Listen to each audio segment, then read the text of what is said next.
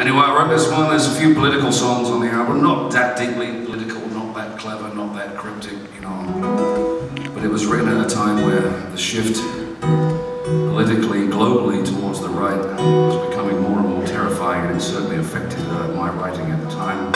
Anyway, enough talking.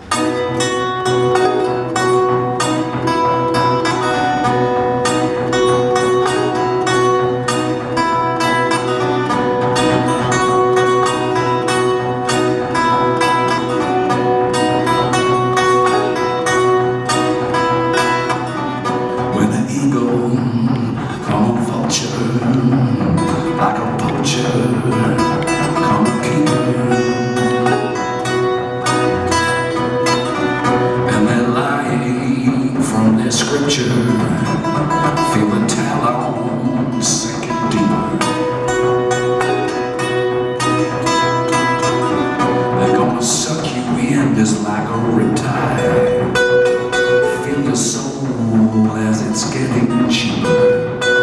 Now they last you up till you hog tied.